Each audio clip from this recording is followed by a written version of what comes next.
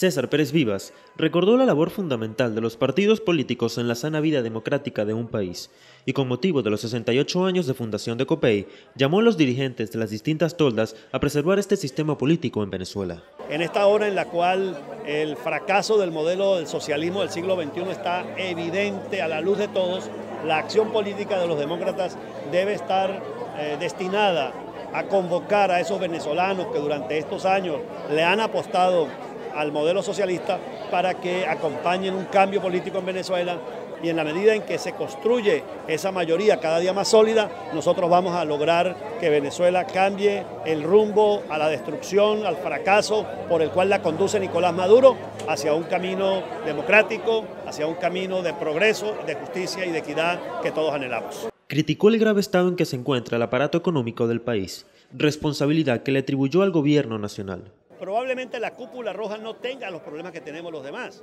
Ellos acceden a los bienes y servicios, a los recursos financieros y a las divisas de manera directa. En Venezuela no se producen alimentos, en Venezuela se destruyó el aparato industrial, en Venezuela se